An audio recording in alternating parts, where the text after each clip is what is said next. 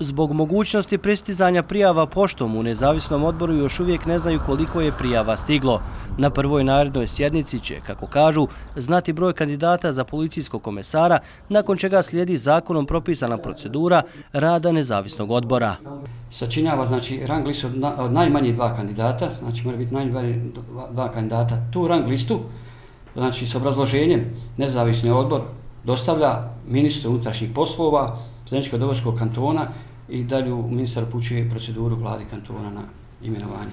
Saznajemo da su u konkurenciji za novog komesara četiri kandidata iz uprave policije MUPA Zeničko-Dobojskog kantona, glavni inspektori Adis Imamović i Admir Gazić, samostalni inspektori Rusmir Šišić i Vahidin Topalović, te dva samostalna inspektora drugih policijskih agencija, Nermin Šehović iz Federalne uprave policije i Hidajet Krehmić iz granične policije. Neki od medija su objavili da, kako navode, jednog od kandidata podržavaju ambasada SAD-a u Bosni i Hercegovini i OHR iz navedenih institucija negiraju takve navode. Ambasada Sjedinjenih američkih država nije uključena u pojedinačne kadrovske odluke.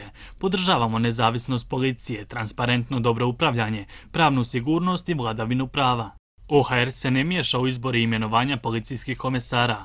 Taj proces je jasno propisan kroz odgovarajuće policijsko zakonodavstvo. Kompletna procedura provjera i konačnog imenovanja prema zakonu o unutrašnjim poslovima Zeničko-Dobojskog kantona trajeće najduže 20 radnih dana od dana zatvaranja konkursa. To znači da će ime novog komesara biti poznato u prvih 10 dana narednog mjeseca.